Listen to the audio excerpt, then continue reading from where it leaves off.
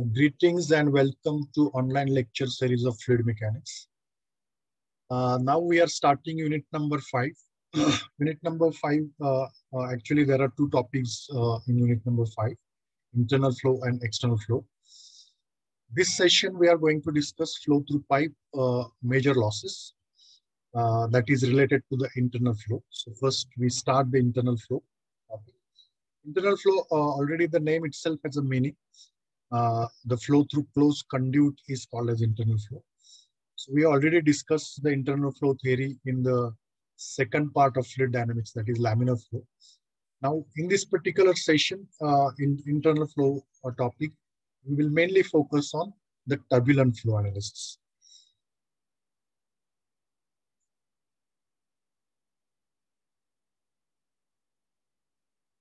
So a pipe is a closed conduit which is used for carrying fluids under pressure. As the pipe carry fluids under pressure, the pipes always run full. There will always be some loss of energy in the direction of flow, which however depends on the type of flow. The flow of fluid in a pipe may be either laminar or turbulent. So uh, whenever we do the pipe uh, analysis of fluid analysis of flow through the pipe, first of all, we have to recognize the type of flow because analysis means application of the various expressions for calculation of flow parameters. So it is very much essential to recognize the type of flow. If the flow is laminar, we have to use the expressions what we have discussed in previous unit uh, under laminar flow section if the flow is turbulent, uh, we have to apply the theory which we are going to study in this particular topic, internal flow. So it is very much essential to first recognize the type of flow and then we can apply the theory. Now the flow through pipe, uh, there are two possible cases of flow through pipe. On the left hand side, uh, this particular flow is also called as a flow through pipe.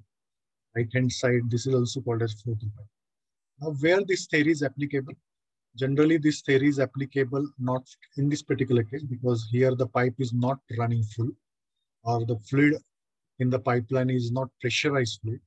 So there are no losses encountered in the pipeline. So generally this theory which we are going to learn, this is applicable for the pipe which is running full. So if the fluid is under pressure, then and then in that case, the pipe is running full. So under that circumstances, we can apply this particular theory. This theory is uh, generally applicable for various piping systems, uh, for various systems where the fluid is used, either that fluid is liquid or vapor. Uh, there are various systems like various power plants are there. So where the piping arrangement is there for water circuit, refrigerant circuit, gas circuit. So various circuits are there. So in order to calculate the various losses, and in order to calculate the power required. So all these analysis is required. now the loss of energy in pipe, uh, when the fluid flowing through a pipe, fluid experiences some resistance due to which some of the energy of fluid is lost. And this loss of energy is classified into two, that is major energy loss and minor energy loss. Major energy loss is mainly because of friction while as minor energy loss is mainly due to change in velocity. So in major energy loss uh, due to friction it occurs, so which is generally reflected in the pressures.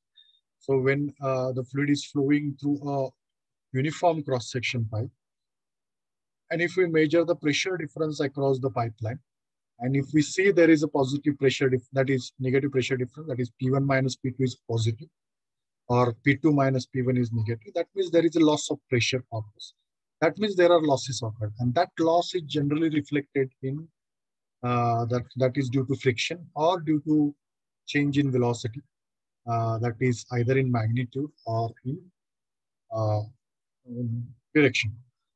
So these losses are generally reflected in loss of energy. So major loss of energy that is the frictional energy. So kinetic energy most of the cases remains constant. Uh, it is not reflected in fact at the macro level but we can easily realize from the uh, pressure uh, from by measuring pressures, we can easily realize whether there is loss uh, happening or not. So the magnitude of loss is generally measured in terms of pressure. Now uh, we will see how to calculate the loss of energy due to friction and whatever the derived expression that is called as a Darcy-Weisbach equation. So uh, we know that the frictional resistance offered to fluid offered to flow depends on the type of flow. Already we have discussed. On the basis of experimental observations, the laws of fluid friction for types of flows are as follows. For laminar flow that we already studied, or we have derived the equation that is called the Hagen-Poiseuille equation or Poiseuille equation, where pressure uh, difference that is also called as uh, uh, frictional losses. So which is proportional to the velocity uh, because uh, the formula, if you remember that is for circular pipeline, it is P1 minus P2 that is equal to 32 mu V L by D square. So only V is the variable. So frictional losses or pressure drop is proportional to the velocity of the flow and the area of the surface in contact. So that is uh, because the velocity is there means area of the surface is also important because diameter is also there. So uh, th this is for laminar flow. For turbulent flow, already we have uh, studied uh, turbulent flow. Turbulent flow, there is no analytical relations available. So most of the relations are based on the experimental things. But from analytical, uh, it is found that frictional resistance is proportional to V raised to n, that is velocity raised to n, where n varies from 1.72 to 2 uh, uh, r of the surface in contact. So n value, this is obtained uh, using a Reynolds apparatus. Reynolds has performed uh, the experiments on various number of fluids uh, for turbulent flow. And he found that the value of n it, uh, generally varies from 1.72 to 2. But we generally consider as 2 for analytical relations. Now, uh, Froude conducted a series of experiments to investigate the frictional resistance offered to the flowing water by different surfaces. And from the result of these experiments, he derived the following conclusions. In steady, uniform, turbulent, incompressible flow, in conduit of constant cross-section, wall shear stress varies about proportional to the square of the velocities. So this is the expression which is obtained uh, using the experimental relation as well. Uh, some dimension analysis technique is also used to uh, derive the functional relationship between the frictional resistances and the other parameters. Now it is found that uh, the frictional resistance that is shear stress, that is wall shear stress, say, that is equal to f dash rho v square by 2. So where f dash is the dimensionless coefficient, so it is also called as a coefficient of friction. Uh, secondly, the frictional resistance means it is given by the formula that is tau is equal to sorry, frictional resistance FD is equal to, that is shear stress into circumferential area, that is tau into P into L. So tau is F dash rho V square by 2. P is the circumference that is pi d into L. So this is the frictional resistance formula. So uh, this resistance formula is generally used for when the fluid uh, or the when the fluid flow is turbulent. Now uh, we consider a horizontal pipe section uh, A, uh, or we can say horizontal pipe sec uh, cross section. That is the cross section of the pipeline is A, carrying a fluid with a mean velocity V. Let 1 and 2 be the two sections of the pipe, L distance apart, where the pressure intensities be P1 and P2 respectively. Uh, then uh, this is a pipe section where the flow is essentially turbulent, we can say. So the diameter is D. Its length we are considering L.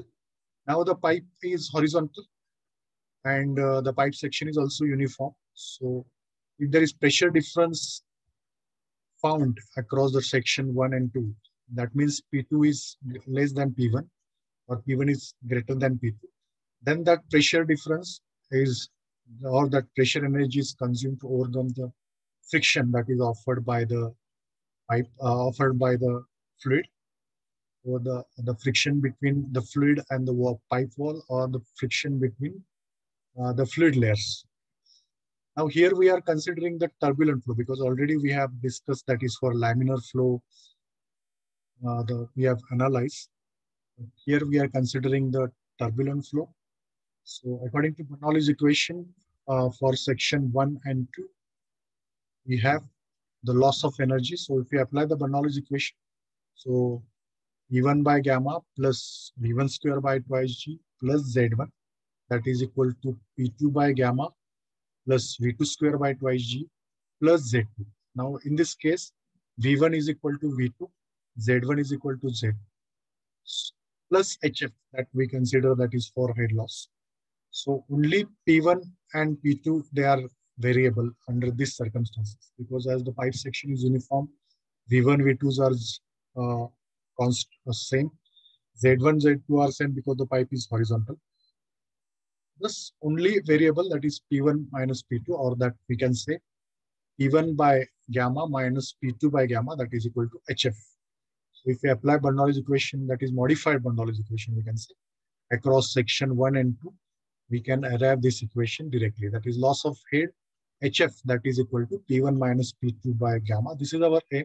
We have to derive this expression of HF. Further, uh, let F dash be the frictional resistance per unit area at unit velocity. Then the frictional resistance, uh, uh, the pressure,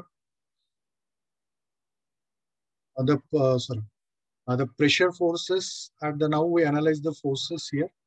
Now we can apply the Newton's second law of motion.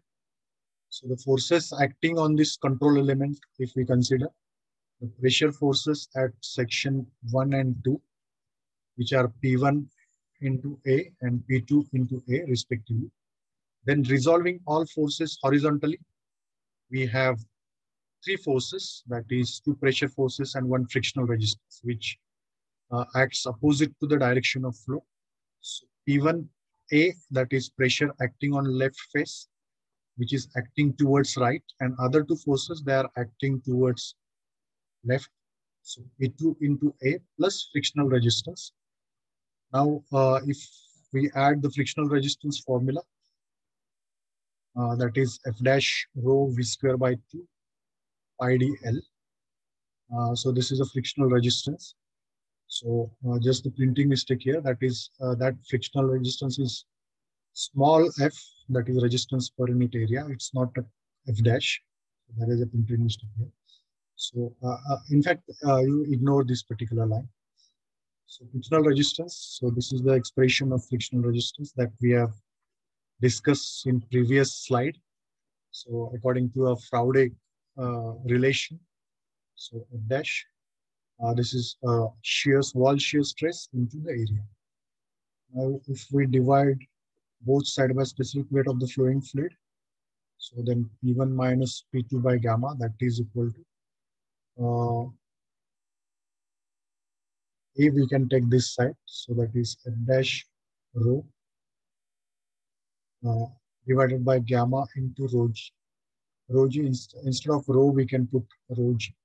Here it is rho that is v square that is uh, pi dl and uh, divided by area. So this area we can call it at pi by 4 d square. So some common terms we can eliminate. Pi pi get cancelled, 1 d get cancelled, rho rho get cancelled. So instead of gamma we can put, put rho g. So that's why this rho rho will get, get cancelled. So only g is remaining.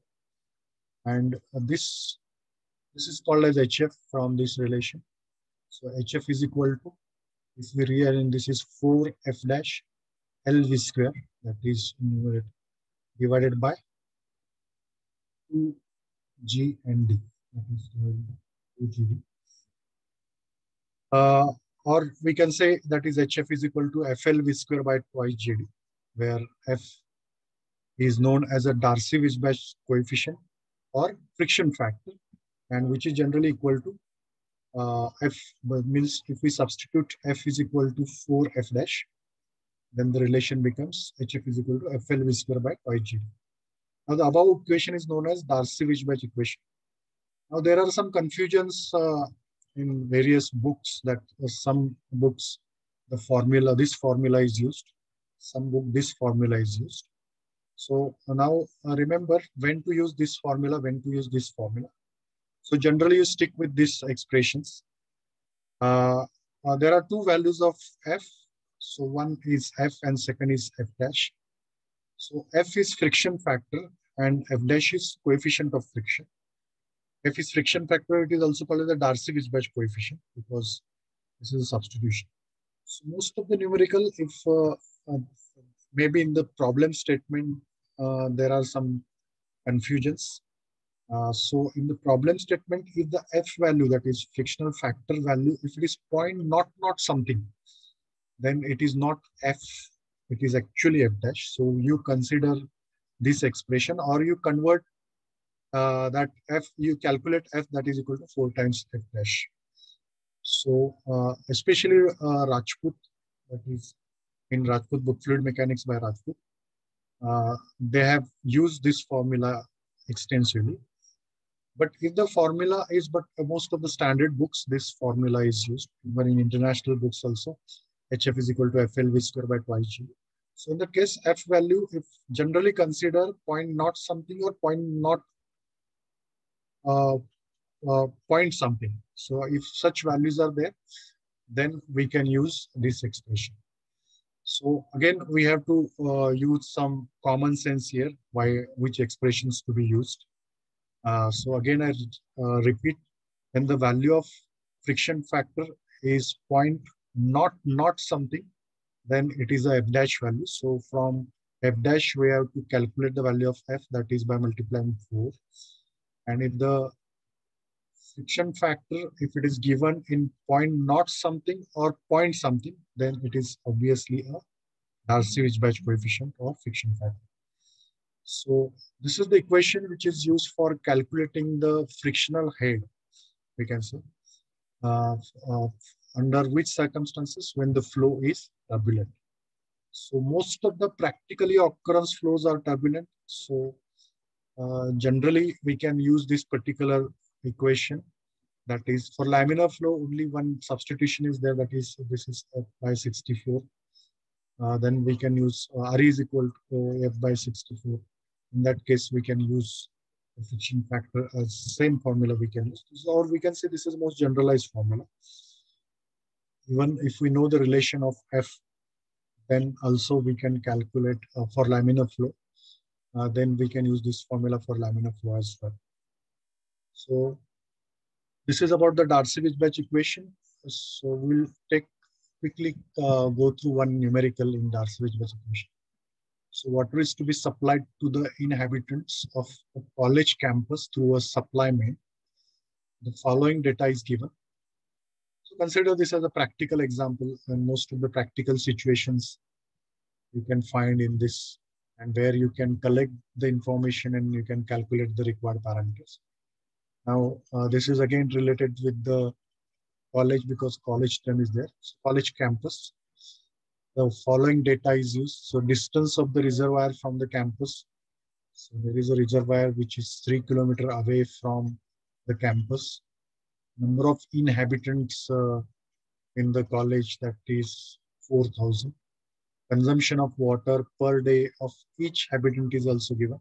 So every person utilize utilizes 100 180 liters. The loss of head due to friction is given, that is 18 meter. Coefficient of friction for the pipe, F is equal to 0.007.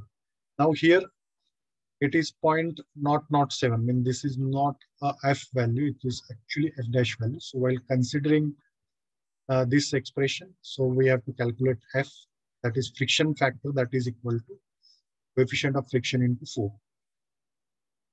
Now, if half of the daily supply is pumped in eight hours, so pumping system is used and uh, whatever the supply required, if uh, means if half of that supply, the pumping is used, so pumping, we need to use that pump for eight hours per day. So what should be the size of the supply main? So what is the diameter of the supply main? So that is the question is the dairy, there is a 16 hours pumping is required to meet the requirement. That is uh, 4,000 into 180 liters.